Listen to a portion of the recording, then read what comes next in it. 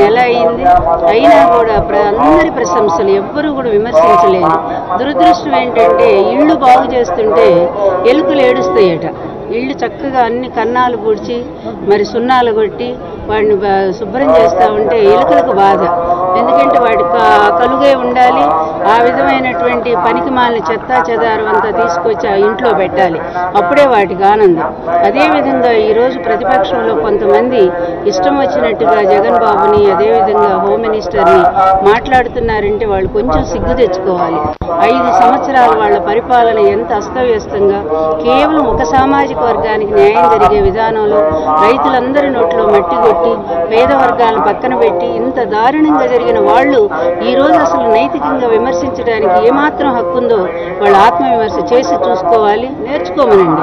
మీ నలభై ఏళ్ళ సీనియారిటీ కాదు. మా బాబు జగన్ బాబు ఒక్క సంవత్సరంలో మీకు ఎటువంటి మార్పులు చూపిస్తారు చూపిస్తాడో ఆంధ్ర రాష్ట్రంలో ఎంత పరుగులు పెట్టిస్తాడో మీరు చూసి నేర్చుకోవాలా? అందువల్ల మీ కొడుకుని ఇష్టం వచ్చినట్టు మాట్లాడించుకోండి.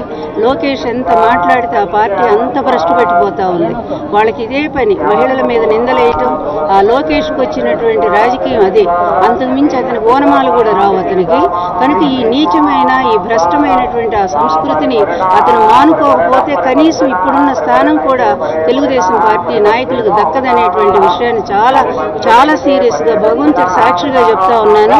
ఇప్పటికే భ్రష్టు పెట్టారు. అందరూ అందరినీ ఇష్టం వచ్చినట్టు విమర్శలు చేసి ఇప్పుడు కూడా అదే మొదలు పెట్టారు. కనుక లోకేష్ ఎంత పక్కన పెడితే తెలుగుదేశం బాగుపడుతుందని కఠినంగా చెప్తున్నాను.